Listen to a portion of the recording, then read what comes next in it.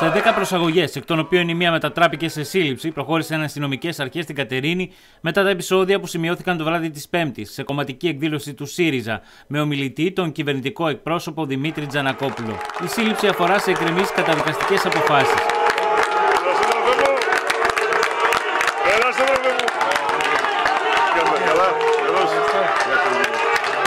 Υπενθυμίζεται ότι περίπου 200 άτομα πραγματοποίησαν αργά το απόγευμα συγκέντρωση διαμαρτυρίας για τη Μακεδονία. Την παρουσία ακροδεξιών στοιχείων επιβεβαίωσε ο Ηλίας Παναγιώταρος, ο οποίος έγραψε στο Twitter. Έχει πολύ πλάκα ο τέος φωνασκών, μπάτσι και να ζει το ίδιο μαγαζί, να αισθάνεται στοργή και προδέμ στην ασφάλεια των μπάτσων. Δεν μπορούν να σταθούν πουθενά.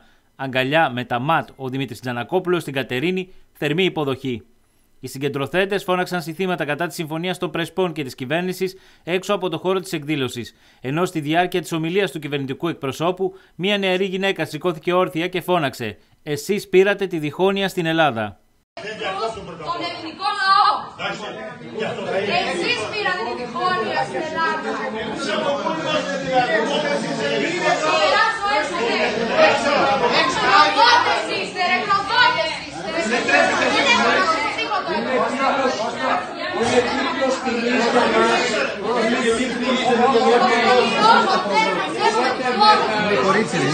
Οι ισχυρές αστυνομικές δυνάμεις δεν επέτρεψαν στους ακροδεξιούς να πλησιάσουν στο χώρο της εκδήλωσης. Δεν έχει περάσει άλλωστε καιρός από τις επιθέσεις που είχαν γίνει στο σπίτι του βουλευτή του ΣΥΡΙΖΑ, Αστέριου Καστόρη, και της Μπέτης Σκούφα στην πόλη.